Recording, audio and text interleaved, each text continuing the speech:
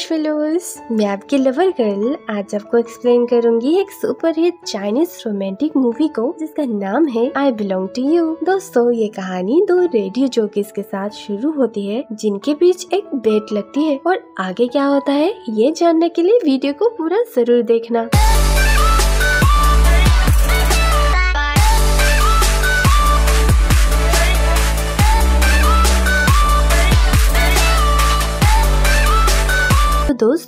Movie का पहला scene बारिश की रात से स्टार्ट होता है, जिसके बीच इसके मेन कैरेक्टर्स जैन और यूंग चाइना के number one radio show passing through your entire world के आरजे यानी रेडियो जोकिस थे और कॉलेज के दिनों में एक दूसरे को डेट कर रहे थे। इसमें ये लोगों से हैप्पी मोमेंट से भरी लाइफ की बातें कर रहे थे। इसी बीच वो एक लड़की के साथ रेडियो पे कनेक्ट होते हैं, जो उन्हें बताती है कि आज उसका बर्थडे है, मगर उसके साथ सेलिब्रेट करने के लिए कोई भी नहीं है और उसे अकेलापन का एहसास हो रहा है। चैन उसे बताता है कि तुम्हें अपने पार्टनर के साथ पहाड़ियों वादियों या किसी रोमांटिक हिल स्टेशन जाकर उसके साथ ट्रिप एंजॉय करनी चाहिए और ये कहते वक्त उससे माइक का साउंड हाई हो जाता है। इसके बाद इंटरवल प्ले होता है और पता नहीं क्यों, मगर उसके साइड में बैठी यंग उस पर कमेंट करके कहती है कि मुझे तुमसे ब्रेकअप करना है। तुम आज तो अच्छे हो, पर उतने अच्छे रियलिटी में नहीं। आखिर हमने लाइफ में कभी रोमांटिक मेमोरी एक्ट्रेस बनाई है? उनकी ये बातें उनकी सारी ऑडियंस तक पहुँच जाती है और सभी लोग उनके बीच हुए इस आर्ग्यूमेंट को सुनकर शौक हो जाते हैं। लोग अलग अलग तरह की बातें करते हैं। उन्हें आरजे चैन एक दोगले इंसान की तरह लगने लगता है, जो कि सिर्फ़ शो पे रोमांटिक बातें करता है, मगर वो असल में ऐसा है ही नहीं। इस इंसिडेंट को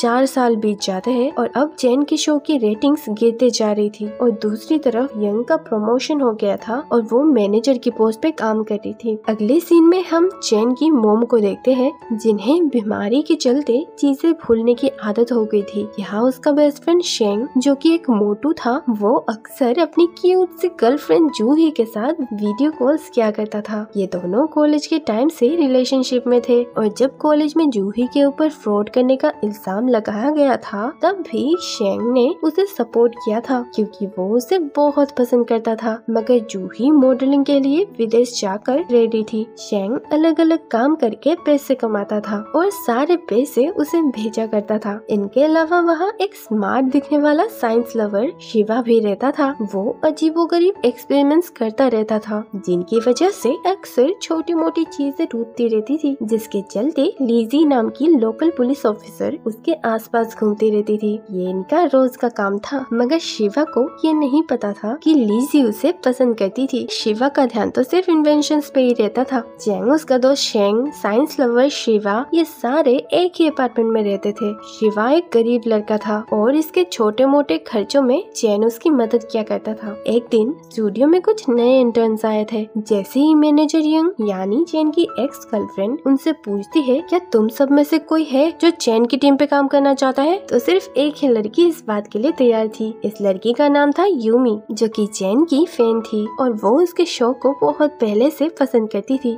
यूमी उसके साथ काम करना चाहती थी, जिसकी उम्मीद शायद खुद चैन को भी नहीं थी। इवनिंग टाइम में जब चैन और यूमी एक साथ शो होस्ट करते हैं तो उन्हें इस दौरान किसी आदमी का कॉल आता है, जो उन्हें बताता है कि उसे डर है कि शायद उसकी वाइफ उसे चीट कर रही है, क्योंकि पिछले कुछ दिनों से उसके पास उनकी फेवरेट नूडल्स खाने तक के लिए भी टाइम नहीं होता है। चैन उसकी बातें सुन के सेट दिख रहा था, मगर यूमी उसे करारा जवाब देती है और उसे सबके सामने अपनी वाइफ पे शक करने के बजाय खुद उसके साथ बैठकर बात करके उन डिफरेंसेस को कम करने की सलाह देती है। उसके इस जवाब को सुन के नूडल्स खा रहा चैन भी इम्प्रेस होता है। शो के बाद चैन उसे अप्रिशिएट करने के बजाय उसे ये कह के फायर कर देता है कि ज़रूर तुम्हें यंग नहीं इनडायरेक्टली मुझे गलत साबित करने के लिए भेजा होगा। यूमी को अचानक चैन की डांट सुनकर बहुत बुरा लगता है और उसकी आँखों में आँसू आ जाते हैं। जब चैन अगले दिन अपने लास्ट शो की रेटिंग सुनता है तो उसे यकीन नहीं हो रहा था कि उसका शो बहुत टाइम के बाद नंबर टू के पोजीशन पे था। वो यूमी से कल के रूड बिहेवियर के लिए माफ़ी माँगता है और उससे शो को कंटिन्यू करने के लिए मना लेता है। यूमी यूमी भी काम पे वापस आने के लिए एक्साइटेड होकर टेरिस पे स्पिन करने लगती है। इसके बाद हम शेंग और शिबा को देखते हैं, जो एक साथ मिलकर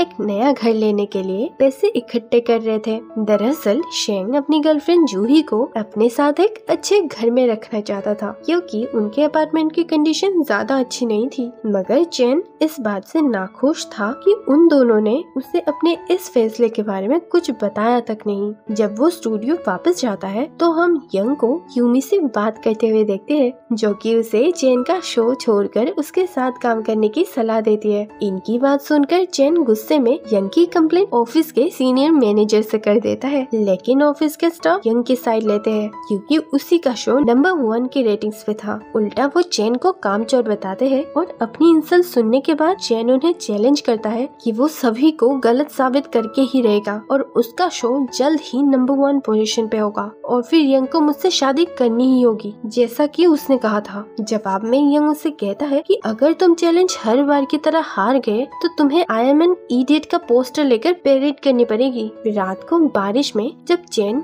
घर वापस जाता है तो उसकी मोम सीढ़ी पे बैठी उसका इंतज़ार कर रही थी। मगर चैन जब उनके पास जाता है तो वो उसे पहचान ही नहीं पा रही थी। अपनी मोम की बिगड़ती हालत देखकर चैन को बहुत बुरा फील होता है। अगले दिन शो होस्ट करते वक्त पहले वाली शर्मीली सी यूमी लोगों से बात कर रही थी, जिससे उसके अंदर का वो फाइटिंग एटीट्यूड नज़र नहीं आ रहा था, जिसके चलते उसकी रेटिंग्स बढ़ गई थी। चैन उसे जोश में लाने की कोशिश करता है, पर बदकिस्मती से ऐसा नहीं हो पाता है। शो के बाद वो दोनों घर जाते जाते बातें करते हैं और यूमी रोमियो से बताती है कि कोई तुमसे बदतमीजी से बात करे तो मुझे अच्छा नहीं लगता। शायद उस वक्त कोलर की बातों से प्रोवोक होकर ही मैंने उस पर गुस्सा किया था। अगले सीन में हम पुलिस ऑफिसर लीची को देखते हैं, जो शिवा के पीछे हथकड़ी लेके भाग रही होती है। फाइनली वो उससे पूछती है कि तुम मुझे देख के भागते क्यों रहते हो? क्या तुम्हें मुझसे डर लगता है? और तुम कोई काम क्यों नहीं ढूंढ लेते? जवाब में शिवा उसे बताता है कि मैं एक बड़े प्रोजेक्ट के ऊपर काम कर रहा हूँ और मेरा भाई मुझे पैसों की कमी नहीं होने देता है, वो उससे पूछती है कि क्या तुम्हारी कोई गर्लफ्रेंड है? वो उसे बताता है कि तुम भी तो अपने रिलेशन के बारे में कुछ बताओ। लीची बताती है कि उसका फ्यान से उसे शादी के झूठे सपने दिखाकर भाग गया था और तब से उसने किसी को डेट नहीं किया था। वो दोनों अब एक दूसरे के बारे में काफ़ी कुछ जानते थे। इसके बाद चैन मोटू सिंह और शिवा तीनों घर खरीदने के लिए एक दूसरे को कंग्रेचुलेट करते हैं और शेंग बहुत खुश होता है, क्योंकि अब वो जूही को अपने पास बुला सकता है। वो अपने कॉलेज के दिनों को याद करते हैं, जिसमें वो चारों पढ़ते थे। शेंग और जूही का रिलेशन पिछले आठ सालों से था और इसी कॉलेज में चैन और यंग भी थे। ये लोग साथ में ड्रिंक करते हैं। इसके बाद रेटिंग्स के चैलेंज का आखिरी दिन आता है। दोस्तों रेडियो शो चैलेंज के इस आखिरी दिन में अचानक यूमी की तबीयत बहुत ज़्यादा खराब हो जाती है और इसी वजह से उसके बदले चैन को अकेले ही लोगों से इंटरेक्ट करना पड़ता है। दोस्तों, अब आगे क्या होगा? क्या आज रात का वक्त खत्म होने तक चैन अपनी शर्त के हिसाब से रेडियो शो की रेटिंग्स को टॉप पर ले जा पाएगा? या फिर उसे हार मानकर सबके सामने लूजर का टेक लगाकर शर्मिंदा होना पड़ेगा? आखिर इसमें आगे क्या होगा? ये जानेंगे हम इस मूवी के एक्सप्लेनर के नेक्स्ट पार्ट में। दोस्तों, अगर आपको ये वीडियो पसंद आई हो तो इसे लाइक शेयर और सब्सक्राइब ज़रूर करना। मैं आपसे इसके नेक्स्ट पार्ट में मिलूँगी। तब तक के लिए बाय बाय